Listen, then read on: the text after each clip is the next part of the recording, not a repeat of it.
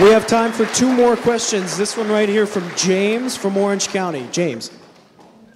Um, so you no doubt believe that man will get to Mars. Um, do you think that uh, that will be done uh, through the Orion project, um, the Orion capsule that's being currently developed to go to Mars?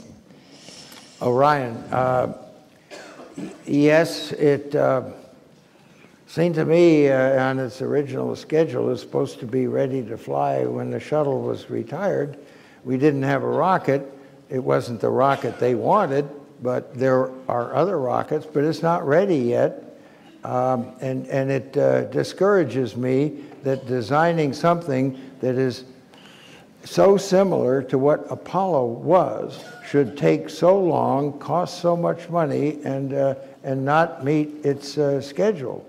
Um, and we're, we're not going to uh, be at the top of the heap if, if we keep uh, building things that don't meet the requirements that we know we need.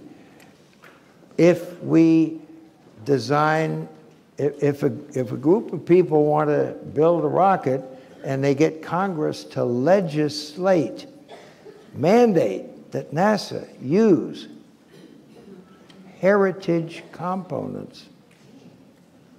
You know what that means to me? Old stuff.